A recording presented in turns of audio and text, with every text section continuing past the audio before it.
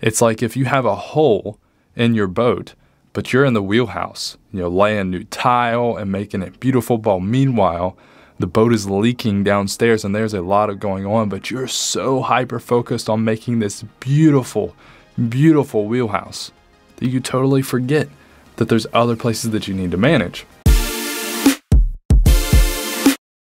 Are we really gaining anything at all? There's going to be a net negative. So, as an example, you have a lot of your physique competitors, um, which are a totally different type of client, but sometimes the average person jumps into a physique show and they get these incredible physical results. When they look in the mirror, I mean, they are just top tier. They look excellent, better than they have ever looked in their life. So I'm talking to my bikini, my, my physique competitors out there.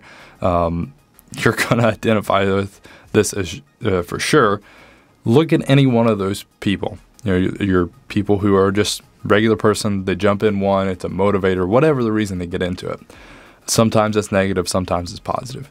On the other side of that, there's always a breakdown, a mental breakdown of their habits, of their stress management. There's so much going on on the other side of that. Once that hyper focus leaves them, and yes, they have the physique, yes, they have the physical results, but the mental results, the the rebounds, the, the all the things that comes with that it's like if you have a hole in your boat, but you're in the wheelhouse, you know, laying new tile and making it beautiful. But meanwhile, the boat is leaking downstairs and there's a lot of going on, but you're so hyper focused on making this beautiful, beautiful wheelhouse that you totally forget that there's other places that you need to manage.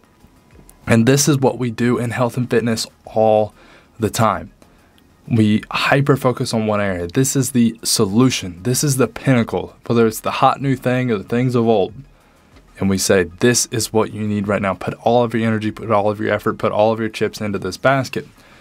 And what we inevitably end up doing, and it's you know not the recommendation, nor is it no fault of our own, we end up ignoring other areas of our life. They are not taken into consideration in the protocols that we give.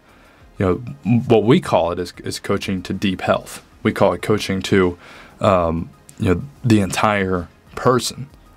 But that is not very common, and that is not something that typically is the attitude as the average person. As a coach, I hope you have that. As a coach, if you're if you're a trainer or somebody or a fitness professional listening, I hope you already know to coach to deep health, to coach to the entire person.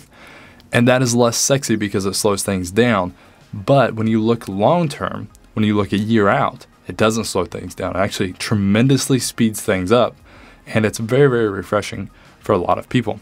So, the solution to many of these problems, um, some of them you need a professional for, others you need a personal framework to work within. Uh, but at the end of the day, what we know is that we need something, a filter, to run our decisions through, something that makes sense with our brain and our human psychology.